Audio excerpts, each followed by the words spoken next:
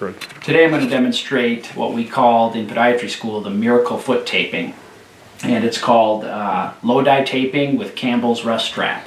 And this taping, most commonly we use it for plantar fasciitis, but it works for so many conditions and it supports the arch and the structure of, of the foot. So um, what you're going to need is um, tape. We use uh, what's called Tensoplast. If you can see how it's spelled there, and I'll put a link or a description in the comments, um, the name of this tape. And this is available on Amazon, and you're going to need a 3-inch tape, and you're going to need 1-inch tape. You can use kinesio tape, athletic tape, almost any kind of tape. This is just one that we prefer. And so um, I'll demonstrate how to put it on here. You're going to start with the 1 inch, and you're going to start at the base of the little toe, and you're going to go right along the side of the foot, along the back of the heel, and then you're going to pull it tight and you're going to stick it on the side of the foot at the base of the big toe. And you're going to put the foot in what we call neutral position. So I'll demonstrate a pronated position is the foot out, up and out. Supinated would be pulling the foot in. Neutral, just about straight. So you put the foot in neutral. If you lift the big toe up a little bit, that can help. And you stick it on the side of the foot.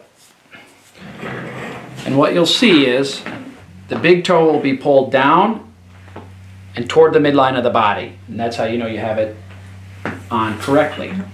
Then you're going to take a second piece of one inch and you're just going to pretty much go right over the first one.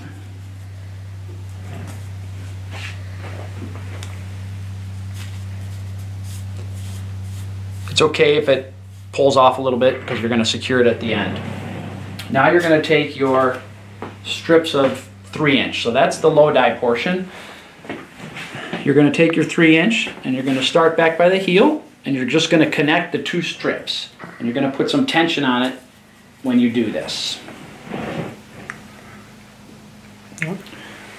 And then you're going to overlap these strips by about 50% and put them on with good tension.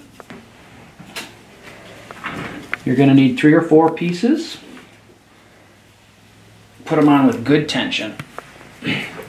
Once you have that done, you're going to put a final one inch piece and cover up all the edges. Again, with the foot in neutral. And then once you have it, you're going to want to rub it and press it so you get a good adhesion. Now you can leave this on for a couple of days um, up to two days we usually recommend and redo it. And some of our patients with plantar fasciitis, you can tape it every day for, or every two days for about three weeks to allow a lot of tissue healing. Some of our athletic uh, patients will use it before sports and it can really help alleviate a lot of pain for uh, especially sports like basketball and soccer. And uh, um, that's the low dye taping with Campbell's Rest Strap.